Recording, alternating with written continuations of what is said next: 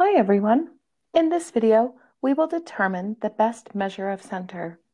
Given the following frequency table of values, is the mean or the median likely to be a better measure of center of the data set?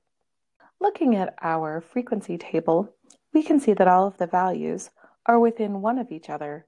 They're all very close together. We don't have any numbers or values that are really low or really high away from our grouping right here, which means that we could go ahead and use the mean to be the best measure of center.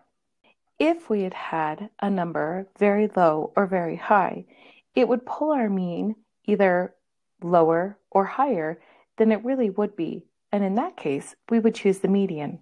However, in this one, because they're all very close together, we can say that, that the best measure of center is the mean, and now we're all done.